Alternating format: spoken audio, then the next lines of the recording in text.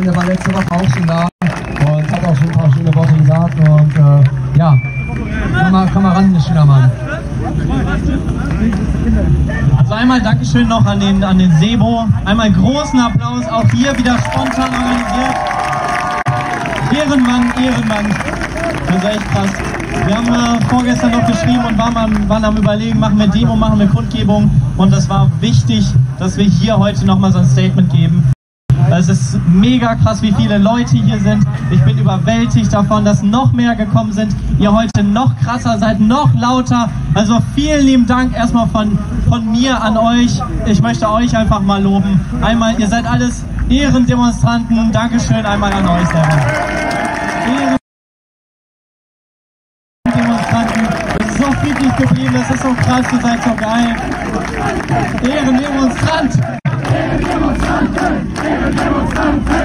Aber, aber, aber, aber, ich möchte hier gar nicht irgendwas, irgendwas großartig rumlabern. Ich möchte eine Message verbreiten. Ich möchte, dass ihr euch informiert. Ich möchte, dass ihr ins Internet geht, euch über Artikel 13 informiert, einfach mal zu gucken, was passiert denn wirklich, wenn Artikel 13 kommt. Das ist gar nicht so schwer. Man braucht, keine Ahnung, eine Viertelstunde, eine halbe Stunde. Man sucht sich ein paar Artikel, Texte aus dem Internet raus, die fachlich recherchiert sind, die keine Propaganda sind von der einen oder der anderen Seite. Einfach mal nachlesen und ihr könnt euch innerhalb von dieser Viertelstunde schon besser informieren und seid danach schlauer als der liebe Axel Voss. Weil wie der Axel Voss einfach mal bewiesen hat, in seiner eigenen Rede im Parlament hat er einfach mal überhaupt keine Ahnung von seinem eigenen Gesetz. Er weiß überhaupt nicht, was das für das Internet bedeutet.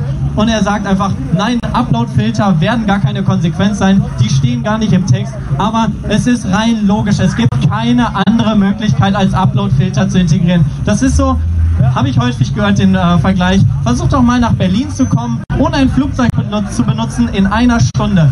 Ja, natürlich ist es nicht vorausgesetzt, dass du ein Flugzeug benutzen musst, aber anders schafft man es einfach nicht von hier aus bis nach Berlin. Also es ist eine logische Konsequenz, das ist einfach Bullshit. Und er hat auch keine Antwort auf die Fragen, die man ihm stellt. Und das ist einfach so traurig. Deshalb informiert euch.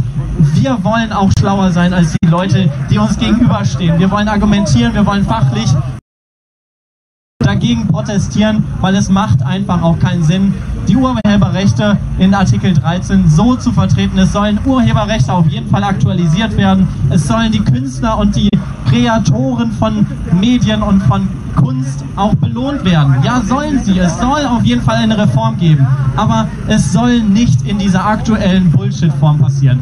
Also, wir sollten weiterhin protestieren gegen die aktuelle Version von Artikel 13 und äh, ich finde es einfach nur geil, wie viele Leute hier sind. Deshalb kommt auch am 23.03. wieder.